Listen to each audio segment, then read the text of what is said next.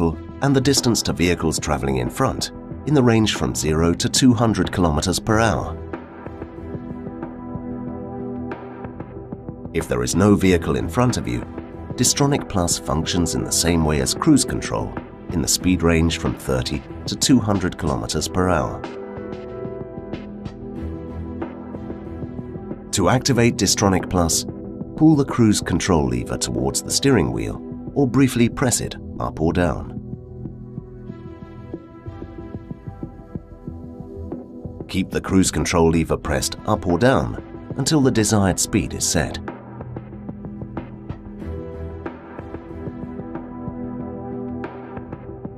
To display the Distronic Plus assistance graphic, use the buttons on the multifunction steering wheel to select the assistance menu item in the instrument cluster. Select Assistance Graphic and press OK. The assistance graphic is shown in the multifunction display.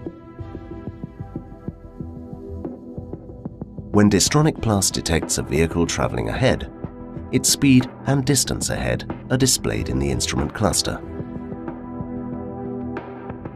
The segments shown in the speedometer represent the area between the speed of the vehicle in front and your saved speed. If you approach the vehicle in front, Distronic Plus automatically reduces your speed and maintains the set distance to the vehicle in front.